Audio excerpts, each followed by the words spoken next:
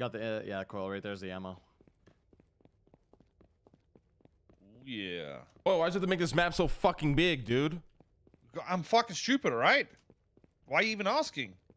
Bro, I'm so hungry that my dog's food smells good to me. that is how hungry I am. Jesus. That's fucked up. You know how good of a parent I am? I walked into the laundry the other day and Jack was eating dog food. What the hell? There's a dry, dry piece Bro, of dog my food. that's dog's fucking food smells fire. Nutritious, nutritious. Dude, I- could actually Hon- eat it honestly, right now. it's probably better than like Macca's and shit anyway. So